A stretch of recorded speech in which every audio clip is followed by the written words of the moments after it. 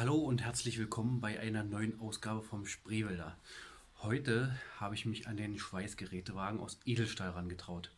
Und zwar habe ich die Teile auf Gärung geschnitten. Der soll also 75 x 35 lang werden, das Unterteil. Und so sieht das Ganze aus. Ich habe ich es schon mal hier so positioniert. Ja, Gärung, Schraubzwingen. Ich bin, naja, noch nicht so zufrieden mit dieser Gärung hier, weil ich ja doch äh, den einen oder anderen Luftspalt habe. An dieser Stelle sieht es ja ganz gut aus. Da ist der Spalt nicht so groß, aber woanders habe ich hier noch Spalten drin. Und ich hoffe mal, also ich würde jetzt erstmal an diesen Stellen, ich weiß nicht, ob ihr sehen könnt, an diesen Stellen das Ganze erstmal verschweißen. Äh, und dann wird überall ringsherum gepunktet. Und äh, abgemessen habe ich das schon. Das passt also soweit. Also das sind 35 und Länge 75. Also das war mit dem Messen und dem Schneiden okay. Aber wie gesagt, diesen Luftspalt hier, den muss ich erstmal überbrücken. Ich bin gespannt, wie es dann aussieht.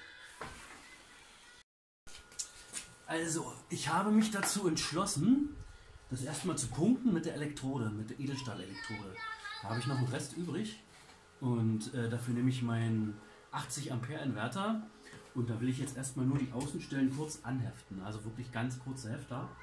Und dann überlege ich mir noch, ob ich den Rest mit Wick komplett durchschweiße oder äh, ob ich das mit der Elektrode weitermache. Wie gesagt, ich habe ja schon ein Video zu Edelstahl-Elektroden gemacht. Das ging relativ gut. Und äh, jetzt möchte ich das erstmal nochmal schnell heften und äh, ihr könnt da gleich mit zusehen.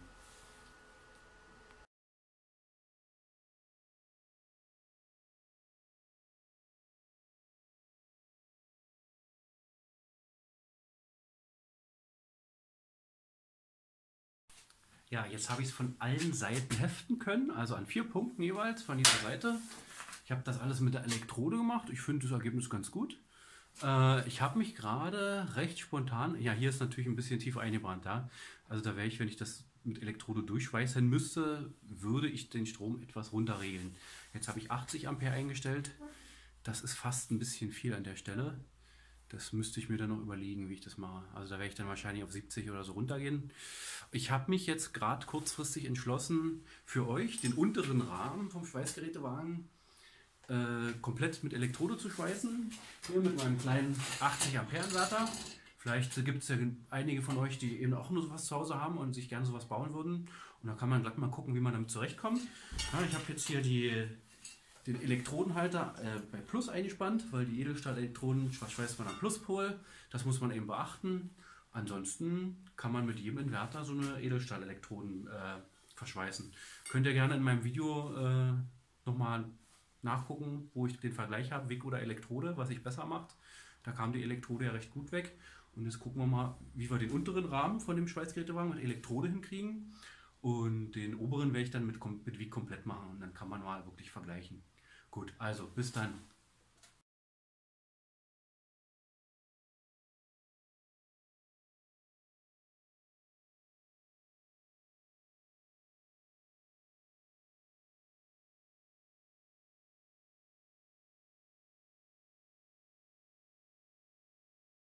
Jetzt kommen noch die seitlichen Nähte.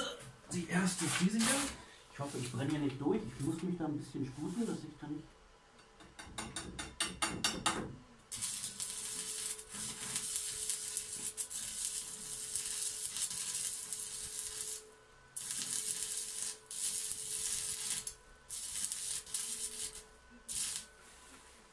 Ist okay. Erste seitliche Naht.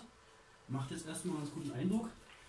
Ich habe mal so ein bisschen Sorge, dass ich hier durch, äh, durch die Schmelze komme, äh, durch das Metall komme und noch reinbrenne.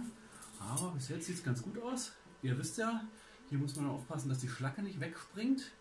Das ist ja bei dieser Art der Elektrode, damit muss man ja rechnen. Und ihr seht, wie dunkel die Brandstellen sind. Ja? Also da, da geht die Schlacke zum Teil schon ab. Ähm, ich mache jetzt, ich schweiß jetzt hier erstmal alles weiter durch und zeige euch dann am Ende das Ergebnis.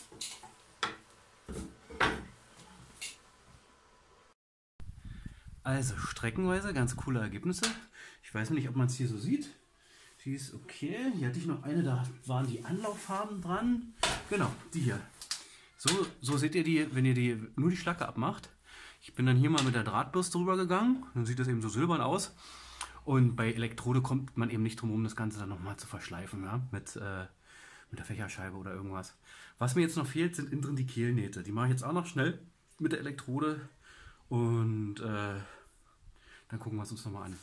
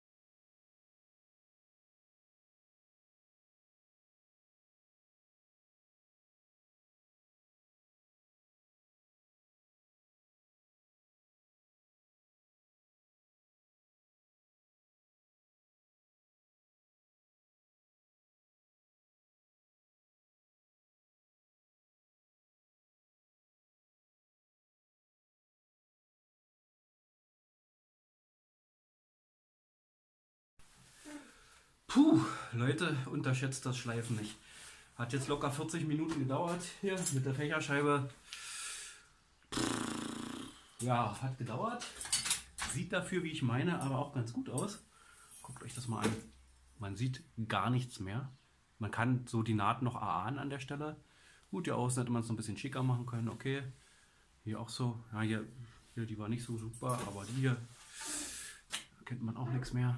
So, und auch die Kehlnähte. Kriege ich das gezeigt. So, einfach nur geschweißt und dann diese verbrannten Ränder abgeschliffen. Mit der Flex hier kurz ran. Kann man nehmen, oder? Also, ich finde es in Ordnung. Äh, was man jetzt noch machen könnte, wäre das Schliffbild hier anpassen. Ihr seht, das ist eigentlich so die Richtung, wie es ursprünglich geschliffen war. Durch die Flex sieht es jetzt viel glänziger aus oder glänzender aus an dieser Stelle. Äh, ja, bei einem öffentlichen Geländer kann man das machen. Für meine Werkstatt hier reicht mir das eigentlich so, wie es ist. Äh, ich möchte einfach nur nicht wie bei diesem tollen Transportwagen das Ganze streichen. Den habe ich aus normalen Stahl gebaut für die Bohrmaschine. Ja, ich will nicht streichen, es soll aus Edelstahl sein. Ich will mal sehen, wie sich Edelstahl so schweißt, wie sich das handhabt. Ich muss sagen, mit der Elektrode bin ich recht zufrieden. Da kann man auch brauchbare Ergebnisse schaffen. Äh, Gerade 2 mm Stärke ist für meinen kleinen 80 Ampere Inverter top. Und das nächste Mal jetzt mit Wick. Also den kleineren Rahmen, den, den 50, der der 50 cm lang ist und nicht die 75. Ja, gucken wir es uns an. Ja, der große Rahmen ist jetzt fertig. Den habe ich hier soweit. Der ist ja 75 lang. Fehlt jetzt noch der kleine Rahmen. Und den habe ich jetzt auch schon mal vorbereitet. Zup. Könnt ihr euch mal angucken. Ich habe wieder mal auf Gärung geschnitten. Und dieses ganze Geschneide mit dem Winkelschleifer ist eine ziemlich nervige Angelegenheit. Ich habe es jetzt soweit ausgerichtet. Äh, das Ganze werde ich jetzt erstmal mit Wick punkten. Überall an den Seiten. Und dann, ja, dann müssen wir hier irgendwann mal vorwärts kommen. Und dann äh, werde ich mal im Zeitraffer hier das mit Wick schweißen, weil das Video sonst einfach ein bisschen lang wird. Also, wir gucken uns das gleich nochmal an und dann geht's weiter.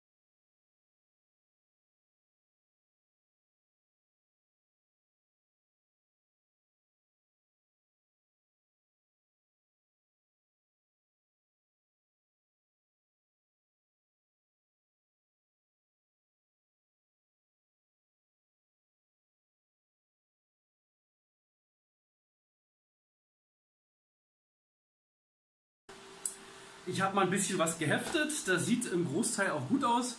Allerdings, wenn man am Anfang zu blöd ist, die Stromstärke richtig einzustellen, und zwar habe ich hier 90 Ampere eingestellt, wir haben ja 2 mm Materialstärke, da brauchen wir 80 Ampere, dann sieht das natürlich so aus. Und das ist ein Riesenmist. Da muss ich mir dann noch was einfallen lassen, wie ich das hier wieder zukriege. Danach habe ich die 80 Ampere eingestellt und siehe da, es geht. Ja, ich habe überall die Hefter gesetzt. So, und jetzt schweiße ich noch schnell im Zeitraffer alles zusammen. Und ich hoffe mal, ich lasse mir hier irgendwas einfallen mit meiner Lücke. Tja, wer blöd ist, ist halt blöd, ne? So,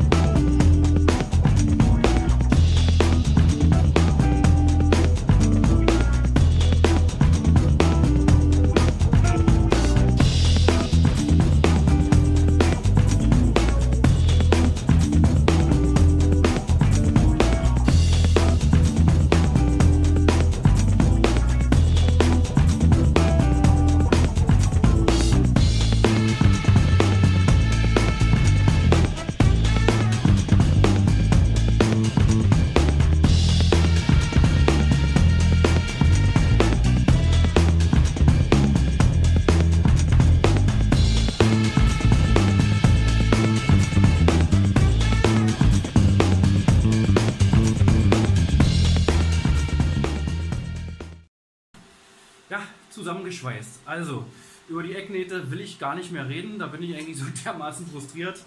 Hm, ja, mein Fusch habe ich dann auch zugeschweißt bekommen. Er sieht nicht schön aus. Die seitlichen Nähte sind dann doch schon besser geworden. Da habe ich mir ein bisschen Mühe gegeben. Huh, hier war es noch heiß. Ja, man wird stufenweise besser. Besonders stolz bin ich dann zum Schluss auf diese Kehlnähte. Die sehen schon fast aus, wie man die sich vorstellt. Die würde ich dann nur noch am Ende mit der Drahtbürste ein bisschen bearbeiten. Die würde ich dann fast so lassen. Äh, ich schleife jetzt noch schnell den ganzen Pfusch, den ich hier gemacht habe. Kann man so nicht anders nennen. Den schleife ich jetzt noch weg. Und dann gucken wir uns das fertige Ergebnis an. Das Schleifen, das erspare ich euch. Das habt ihr schon bei dem ersten Bogen gesehen. Und dann zeige ich euch nochmal das Endergebnis. Und ja, dann gucken wir es uns an. Ne? Also.